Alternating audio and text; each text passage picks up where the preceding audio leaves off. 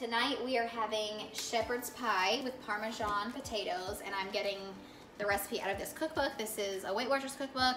I don't follow Weight Watchers, but I love their recipes um, because they're healthy and they're simple and they always taste good and they're most of the time very quick to make.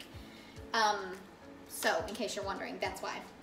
Um, this recipe, I'll show you guys if you wanna pause the video. I don't know if you guys can see that and see what all's in it. Um, it's really simple. We've made it a lot and everybody likes it. Um, except for Ezra. Sometimes he's picky about food, but for the most part he likes it. So I am going to uh, use red potatoes for the mashed potato topping and then we put in some Parmesan cheese in there. And I'm going to dice up this onion and chop up or mince the garlic.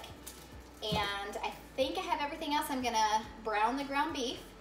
Um, yeah, and that's it. So I will chat with you guys while we cook and share my, or Weight Watchers shepherd's pie recipe with you. Okay, um, let me grab this dish.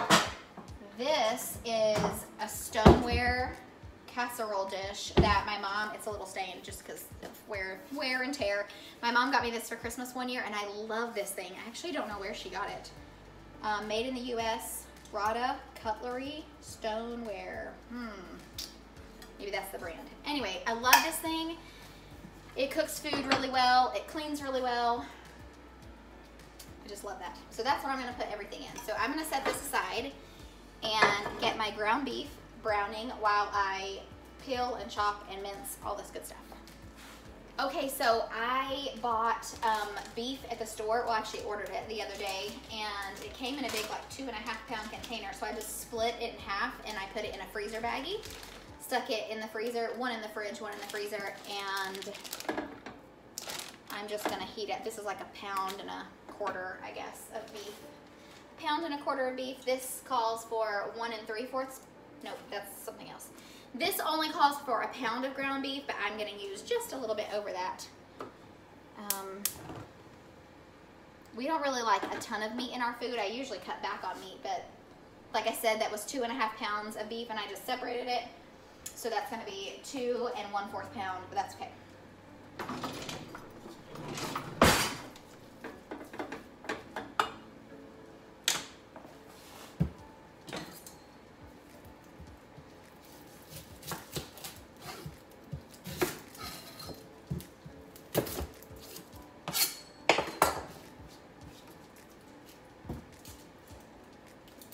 Now, I know a lot of people hate cutting onions because it burns your eyes. I wear contacts, so they kind of block a lot of oxygen from getting to your eye. That's why you're not supposed to wear them all the time. You're supposed to take them out, put your glasses on so your eyes can breathe. But actually, I should say, the contacts that I wear are like, um, they're supposed to let more oxygen into your eye. However, I can cut onions without them bothering my eyes for the most part. Every once in a while, we'll get a really strong onion and it like stings my eyes, but for the most part, it's not a big deal. Um, and I always forget that onions don't bother me, and so then I'll go and put my glasses on, and I'll come in here and cook dinner, and I'm like bawling and crying because the onions are so strong in my eyes, and I realize, oh my gosh, I took my contacts out, and I just forget, and I totally forget that they hurt people's eyes. I'm just so used to wearing my contacts. Anyway.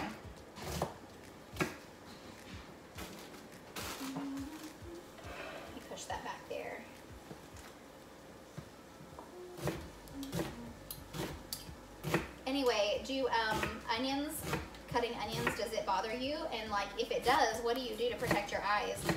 I've seen some people wear goggles, like literally wear like ski goggles to keep the oils and the vapors away from their eyes. Which I totally get that.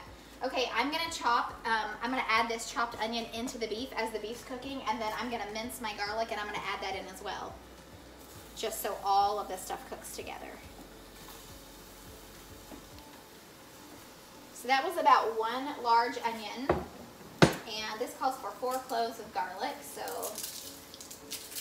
get that ready.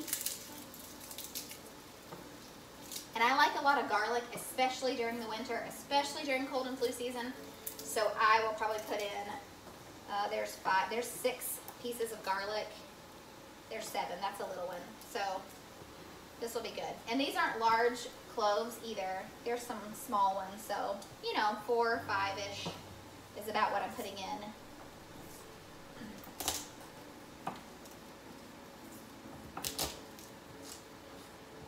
Whenever I go to cut garlic up to mince it, I always press the side of my knife blade onto the clove of garlic to crush it because that makes the skin peel off really easily.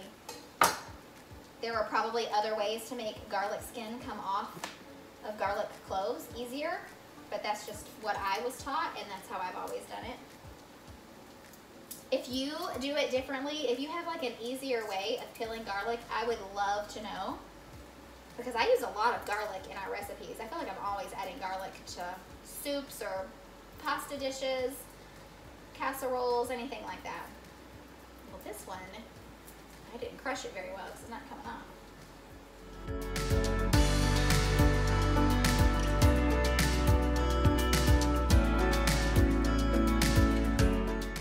And I'm just roughly chopping or mincing this garlic. I'm not trying to be really um, perfectionistic with it. It's like if there are bigger chunks, that's fine. When you cook it and the garlic and the onion both, when they get hot, they lose some of their spicy heat. Um, so even if you were to like bite into a big chunk of garlic, once it's cooked, it's not gonna have that real strong garlic flavor or any of that burn. So if I have big chunks in here, that's not a big deal. I am definitely not gonna spend a lot of time cutting this up really finely.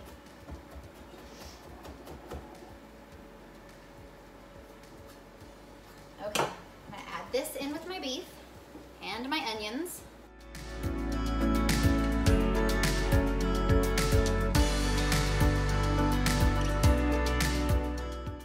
I don't think you guys can see this hot here.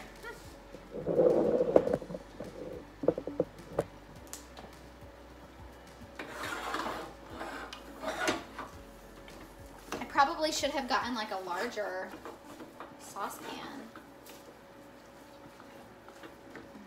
Because I feel like my stuff is almost to the top. Should have got something a little bit bigger, but it's okay. We'll make do. So I'm just trying to like break up the beef, mix in the onion, mix in the garlic with the beef, and just let it all cook down. Oh, and this is another question I wanted to ask you guys. Um, I have seen people cook their garlic like this, the way I'm doing it, just by cooking it in the pan and then you pour off the grease when you're done. But I've also seen people like boil their beef in water. But I, that's, that's, I've, in America, I don't know that we do that. If you're an American and you're watching this and you boil your beef in water, I would love to know. I mean, my mom never did that and I don't think my mother-in-law does it. I don't think any of my sister-in-laws, brother-in-laws, I don't think anybody cooks their beef this way, that way, but I have seen people on YouTube do that. So I didn't know if that was like other countries do that. Um, or maybe just in different parts of America people do that. That could be like just a family thing, like how you're taught. I don't know, but if you cook your beef differently than just browning it on the stove in a pan and you uh, boil it, I would love to know. And I would love to know why, and maybe I should try that and see how it, maybe it's easier or it tastes different. I don't know. Anyway, for now, this is how I'm doing it. This is how I've always done it. Works well. I was just kind of curious about that when I saw it and I thought, that's so strange, but maybe it's not strange. Maybe this is strange. Don't know. Okay, so while that is browning, get all my stuff out of the way, I need to throw away. Um, let's see. I need to cut these and I need to get those cooking on the stove. This was a five pound bag, but I'm not sure how many, how much this is now. This may be like two pounds, a pound and a half, two pounds of potatoes.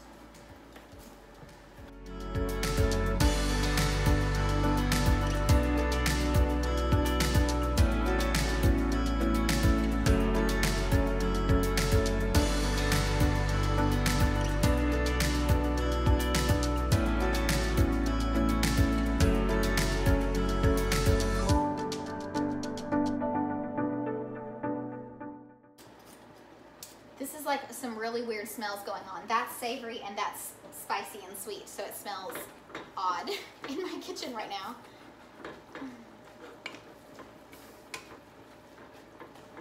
Almost done right here.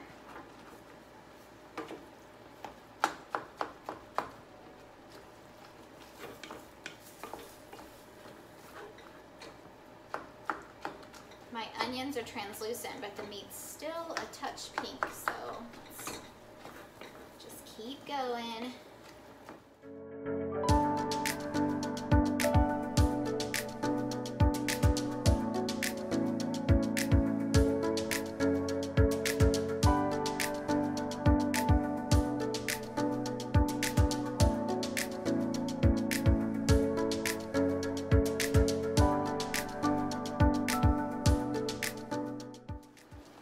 Okay, so the meat's done and I am just going to drain the grease out of there and then I'm gonna put the meat mixture in my casserole dish and then I'll do veggies next.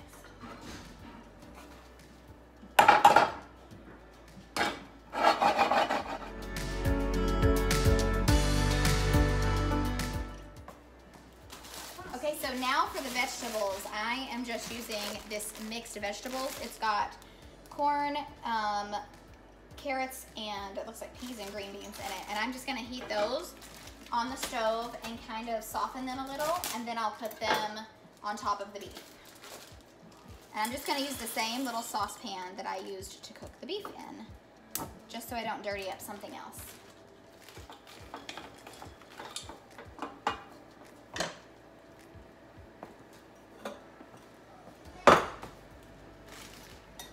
Okay, so now I have peeled my potatoes and cut like the bad spots out. I'm gonna put them in this dish and I'm gonna rinse them really well and drain any of the dirt or like skin that got stuck to the potatoes off. And then I'm gonna cover them in water and I'm going to bring them to a boil and cook them until I, they're soft and I can mash them. okay, and these pans, these pots and pans that I have, um, they're like a waterless, sort of like a waterless cookware. You only put a tiny bit of water in the bottom and then you open this little, there's like a little, I don't know if you guys can see that, like a little valve there. And you open it and it'll build up pressure and steam and it'll start whistling. And when it whistles, you turn the temperature down to low and you close the valve so that it holds all the steam in. And that helps to cook without a ton of water because you typically will lose a lot of veg uh, vegetables. You'll lose a lot of vitamins in your water, um, so this allows you to cook with less water and save some of the vitamins in your vegetable. All right, so the potatoes are cooking, softening up these veggies.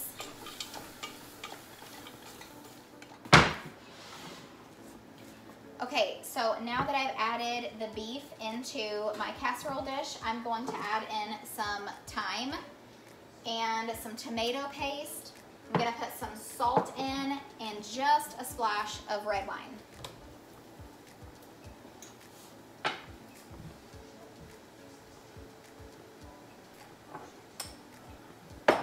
That was probably about a teaspoon of salt. I'm gonna do a teaspoon of thyme, and I don't measure stuff sometimes. I usually just kind of like gauge it, like look at, eye it, eyeball it. Pour it out in my hand. Yeah, that looks like a teaspoon. Yeah, this is like a tablespoon, a pinch of this, a pinch of that, all that good stuff.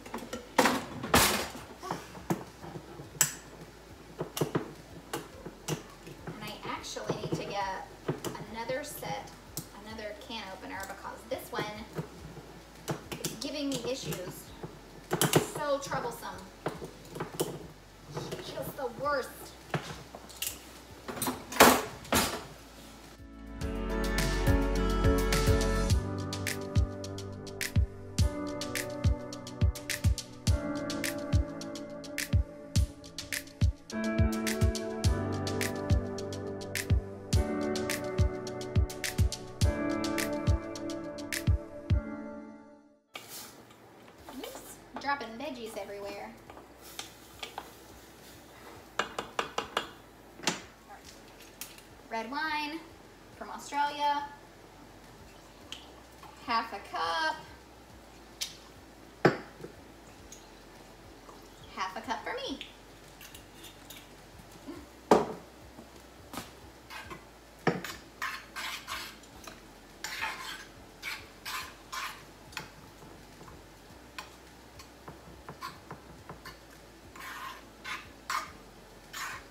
Okay, I'm just gonna stir this really well to mix all of this together. I'm gonna try to incorporate the spices and um, the tomato paste and the wine into the meat really well. Give it a lot of good flavor.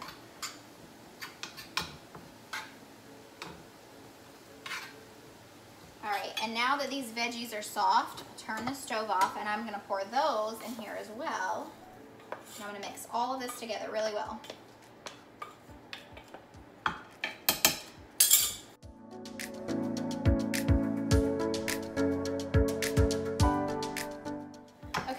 Now that I have my beef and my veggies mixed together, I'm just gonna let those sit here and let those flavors kind of absorb and meld together while my potatoes are cooking. When the potatoes are done, I'm gonna add my milk, salt, and butter um, after pouring the water off and I'll blend all of that together and then I'll just cover this with potatoes and sprinkle some Parmesan cheese on top and then I'll put it in the oven to bake. So right now while this is sitting here and I'm still waiting on these mashed potatoes, I'm gonna preheat my oven to 350 degrees. Yep, 350 degrees. And by the time the potatoes are ready, it should be preheated. And this will just be sitting here and I'll be drinking my half glass of wine. I'll also be cleaning up and putting everything away at the same time.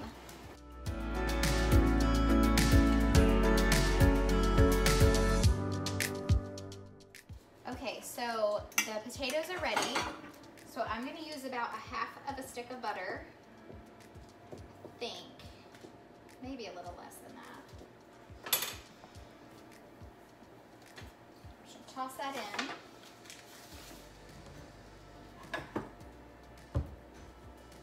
Gonna do about a table or a teaspoon of salt. And then I'm just gonna pour in water. I don't really measure that great for mashed potatoes. I just kind of eyeball it, like those things I cook. And then I'm gonna use a potato masher. Um, I killed my immersion blender, which is what I used to use when I was making mashed potatoes um, about a year ago, and I just never replaced it. Um, I had this potato masher, and I've always used that ever since I killed the immersion blender, and this works pretty well.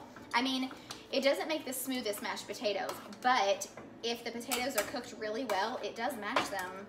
Um, and I think they're fine, and nobody has complained, so I'm actually happy to just save, you know, 40 or $50 and just use this handy dandy little potato masher. All right, so once I get these mashed pretty well, I'll taste them and see if they need like more salt or more butter. Um, it'll probably be fine though.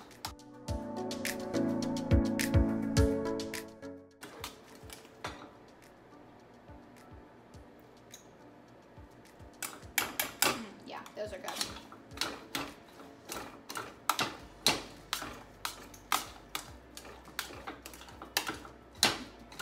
If I wanted them to be whipped really well, just get out my hand mixer and whip them, but for a small batch of potatoes like this, it's not worth it to me. Okay, so now that the potatoes are done, I'm gonna spread them across the meat and veggies. And then I'm gonna top that with um, Parmesan cheese.